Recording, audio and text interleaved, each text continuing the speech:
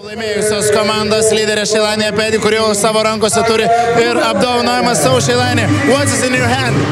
Uh, I think I won the all favorite team. I guess I won. I don't know. All star team. I guess it is.